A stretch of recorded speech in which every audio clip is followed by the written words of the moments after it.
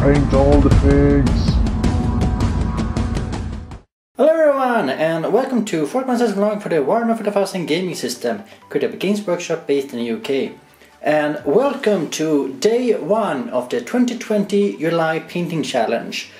I was debating with myself, should I be doing this or am I just gonna get stressed out? Am I really in the mood for doing some painting this, this summer? Because I'm also stressing out about all the books that's piling up that I'm a slow reader and all that.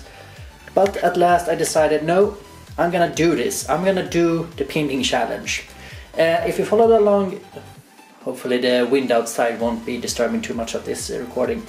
Uh, if you followed along uh, last year, you might be knowing that um, I was doing a Battlefleet Gothic uh, paint up line.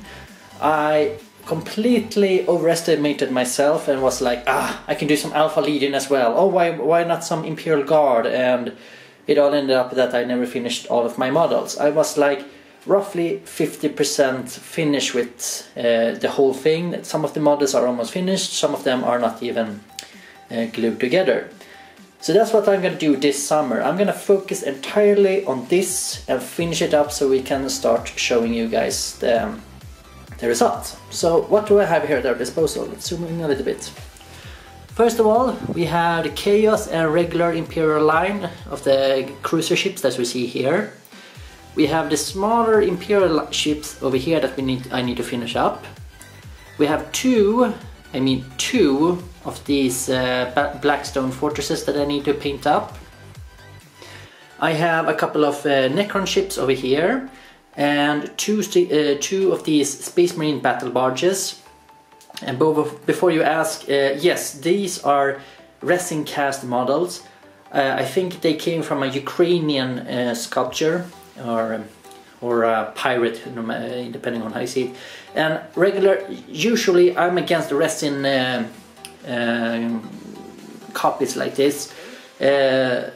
And I always, as you see here, try to stick to the, the original models to uh, support that. But considering that this uh, this um, what do you call it?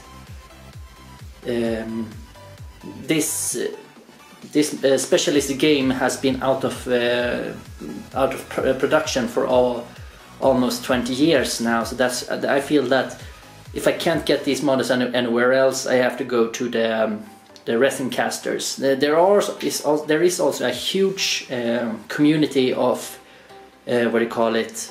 3D printing this, these days and what's to say that these are not anything near that uh, when it comes to this because 3D printing if you do it yourself it's more uh, okay than if you yeah buy resin like this so uh, usually I will have to do the dis disclaimer that I'm against resin copies it's only that this one this time I was desperate because I couldn't find any, them anywhere else so that's uh, Necrons Space, uh, Space Marine battle, uh, barge, battle barges, regular cruisers, smaller support ships. We also have the Planet Killer and then a Retribution cruiser. Whew. So that's a lot of ships that I'm gonna go through this summer. Uh, hopefully I will manage it. So thank you much. So yeah, so the challenge is on. Uh, thank you much for watching this video. See you around everybody. Bye bye.